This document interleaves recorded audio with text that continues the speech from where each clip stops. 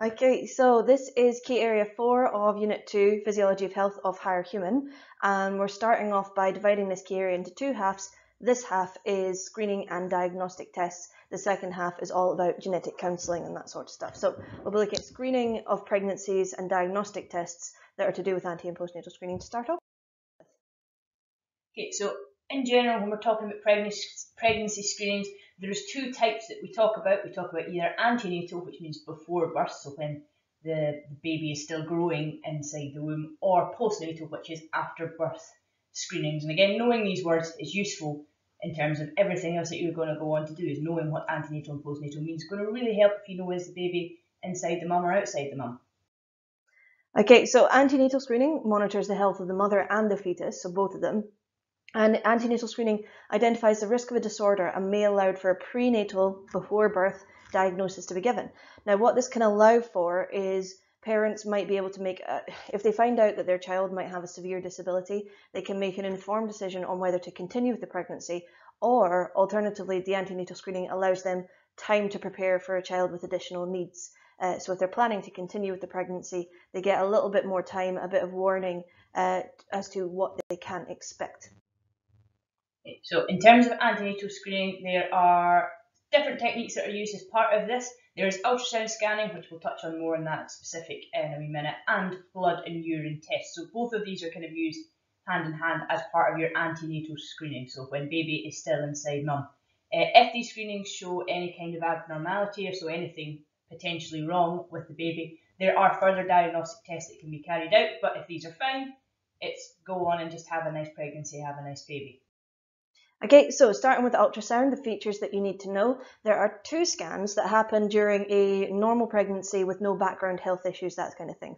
So the first scan is called the dating scan, and it does exactly what it says on the tin. It dates the pregnancy and the due date of the pregnancy. Again, there are particular stages of development the doctors know if it's three millimeters long, you are six weeks into your pregnancy. They know these facts, okay? So the dating scan happens at 8 to 14 weeks, so sometime between that window. It dates the pregnancy and it's used in combination with blood and urine tests. I don't know why the B has a capital letter, but it's used with blood and urine tests in order to look for any possible issues that are arising.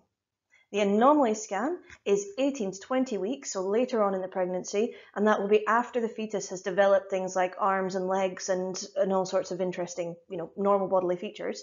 Um, and it's checking for physical abnormalities. Uh, so what we're looking for there is maybe limb deformation, uh, they'll check things like the circumference of the head, they'll check the length of the femur, and so the femur of the, the main leg bone, um, and they'll check the, the humerus length, so the main arm bone, and they'll just check for things like undergrowth or overgrowth of those areas.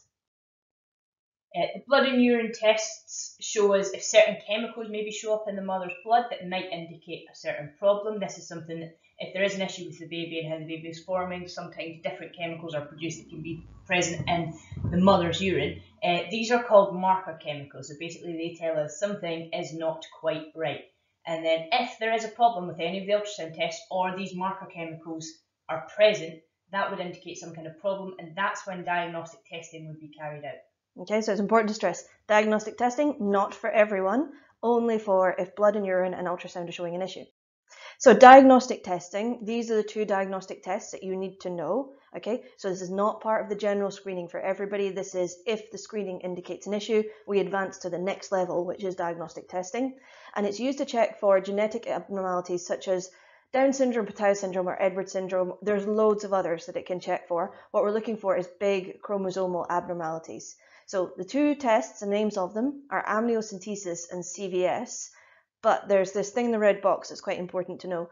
Both of these tests carry a risk of miscarriage, so we don't do them for every pregnancy, and also it's very much the parent's choice as to whether they want to do the diagnostic tests. Because, say it's a couple who've been through several rounds of IVF and they didn't do PGS or PGD, and the diagnostic testing is indicate or sorry the the uh, screening is indicating there might be an issue they might go you know what we don't want to risk this pregnancy we want to just have the baby born and whatever it is, we will love it and we will raise it. Okay, um, so you got to think about the, the compromise of this carries a risk of miscarriage. Do you want to know what your baby might have? Okay, so in terms of the diagnostic testing criteria, obviously there's the things that we've said in that if the ultrasounds or the marker chemicals suggest there might be a problem, there is also some other criteria that might result in you being able to get these diagnostic tests. Uh, the main things are if you're a high risk person, so women over the age of 35 are considered to be very high risk, or anyone who is maybe obese or has any other health condition that might potentially put them at more risk than other people, and also just simply family history. If this is something, if there is a trait or uh, some some kind of genetic problem that has come up in your your family's history, is something that you would then likely to be more or more likely to get tested for to see if that is the case with your child as well. Okay, so let's look at, have a look at the first diagnostic test type, and that is amniocentesis. The picture here is showing what happens. So what happens is a needle goes through the abdominal wall into the uterus, but not into the baby. That's a very, very important part there.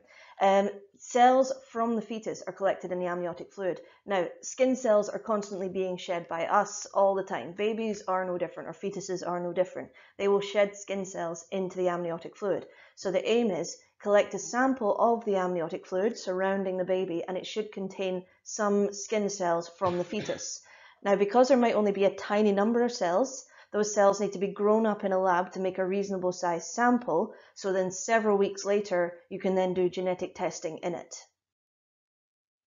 In terms of CVS, it stands for chorionic villus sampling. Now, you do not need to know that this is what it stands for, but again, sometimes it helps what it tells you what it does, but CVS is sufficient. Um, the idea is that fetal cells are collected from the placenta, so surrounding the baby, um, the cells are selected from that. And again, a karyotype is instantly done from this because um, it's from a large sample of cells. So slightly different in amniocentesis in that the karyotype is instantly done after it. So like within a day, is it? It's very, very quick. It's yeah. very quick. Can it be less than a day? Uh, depends on the lab. Depends, yeah. But it's very, very quick, this one, this sampling method. Okay, so we've mentioned karyotype a couple of times. To confirm, a karyotype is a picture of a cell's chromosome. So this picture that is on this slide, that is a karyotype. Okay, uh, what we are hiding with our little image box is the X or Y chromosome option. I think on this particular karyotype, it says uh, it's basically giving the options for both. So this person would be either XX and that would indicate a girl or XY and that would indicate a boy. Okay. Now it's possible to see chromosome abnormalities. So for example, if I looked at chromosome pair number 21 down at the bottom there, if I saw three chromosomes sitting there, I would know this kid has Down syndrome. If I looked at chromosome number five and I saw that chromosome number five was a little bit short, I could go, aha, that's going to be Cri du chat. Okay, so it's for big chromosome abnormalities is what karyotype picture is for. We're not going to see things like um, cystic fibrosis or sickle cell anemia because remember those are single gene mutations. They're not going to be visible on a chromosome. Okay, so to summarise this, the comparison of the diagnostic tests. So um, first of all, the amniocentesis and CVS, in terms of when they can be done during the pregnancies, amniocentesis it can be done at 14 to 16 weeks, so slightly later, where CVS can be done slightly earlier, only 8 to 10 weeks in. If you have a look in your PLP, actually, there is a really good diagram of the amniocentesis sitting next to the CVS and the comparison. You can see the different stages of development. CVS, it's basically just a blob, whereas amniocentesis is recognizably a fetus. Oh, okay. Uh, the time taken to get results is around three weeks for amniocentesis versus 24 hours for CVS. Now, again, you've got to think about the options for parents. If parents are looking to maybe say that they would not want to continue with a pregnancy due to a severely disabled child, is the earlier that can happen, the better. So amniocentesis is a less good option for a lot of parents because that's a longer pregnancy, a more traumatic termination.